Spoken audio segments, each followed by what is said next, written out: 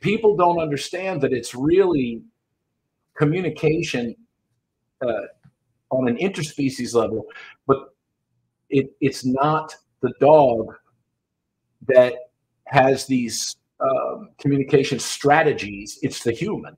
And when we are yeah. alone for a long time, or we, we fall into this place where we can be defensive to keep people away, or we can be overly happy with people, or we can be, let me like, let me make something for you, or I fucking hate you, or whatever.